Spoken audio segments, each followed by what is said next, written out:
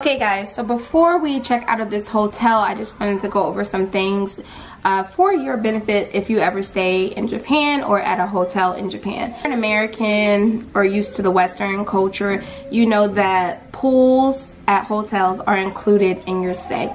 Well, most of the time in Japan, you need to ask, ask the right questions to make sure that you bring enough money and that you're accommodated and that you choose the correct hotel for your liking. So the first question to ask. So you need to ask if they have a pool. So when you say pool, it could mean a number of things in Japan, but you need to be specific and ask about if it's like a pool that you can swim in for swimming activities.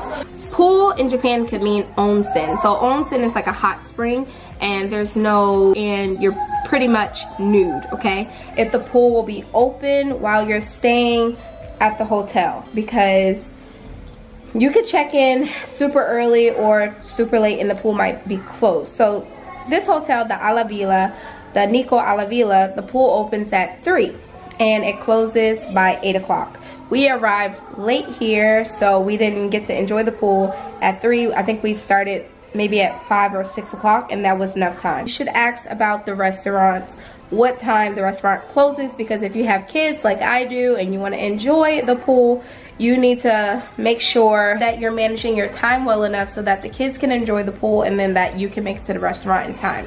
For us, we, we really wanted the kids to enjoy the pool, so we decided to not do the restaurant and just have, or take in rather, from outside of the facility. Next, ask about the tattoo policy. Most hotels in Japan, they will not allow you to swim if you have tattoos. And if you have tattoos, you can swim only if you cover them. So you need to wear a full-on cover-up. If you have one tiny, small tattoo on your ankle, you need to wear a full-on bodysuit like you're a scuba diver just to swim in the pool.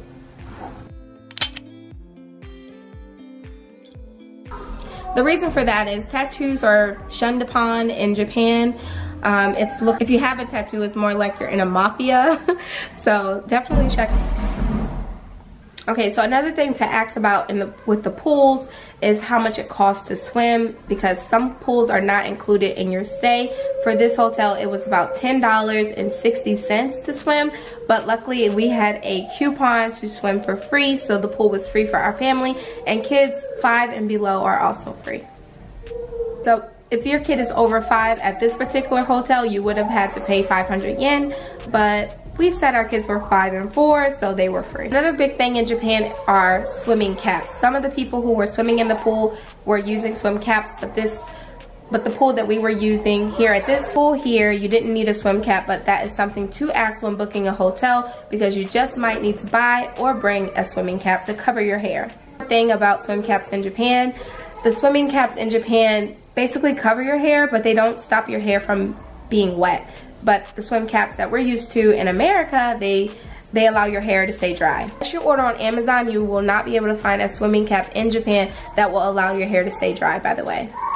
Another big question to ask when booking a hotel and you're thinking about swimming in Japan if it's kid friendly because some hotels like the collective I don't know if it's kid friendly or not. It depends on the level of hotel that you're staying at. So that would be a great question to ask if kids are allowed because it might be like a low-key business club member only hotel. But before coming to Japan, I hope that these questions might help you pick the right hotel for your stay. I really enjoyed this hotel. We don't have any tattoos, me and my husband, so that wasn't a problem for us. And another good thing about this hotel is if you come in December, they do have a heated pool. They don't have a jacuzzi, but the pool was like a jacuzzi, meaning they had the massage area on one side of the pool, they had jet streams on the other side of the pool, and the jet streams made you feel like the entire pool was a big jacuzzi. The pool was semi-heated. I wouldn't say it was as warm as a jacuzzi could be, um, but it was warm enough for it to be December after Christmas. Today is today is December 29th, and the pool was perfect for us for that. Um, this this pool was called the relaxation center and they also had a sauna that you could stay in in five minute increments. Because it was so hot i think i lasted about two minutes only. So yeah